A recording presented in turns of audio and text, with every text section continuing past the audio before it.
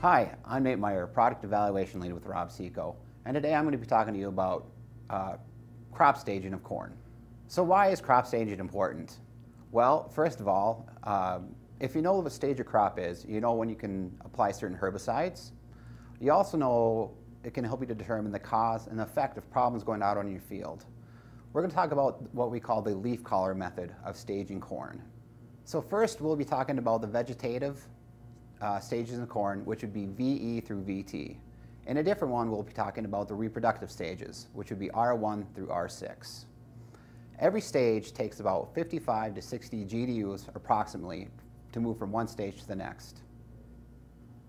First, we'll talk about germinations to emergence.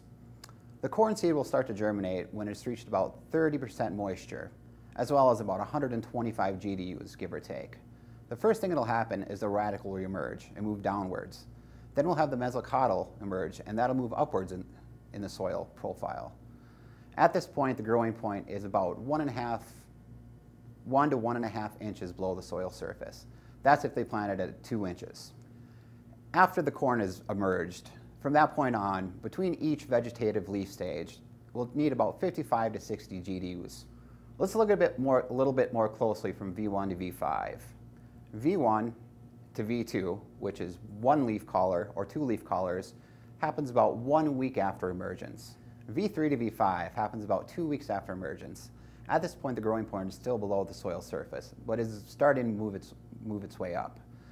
Also, at V5, you can see a very small microscopic tassel being developed.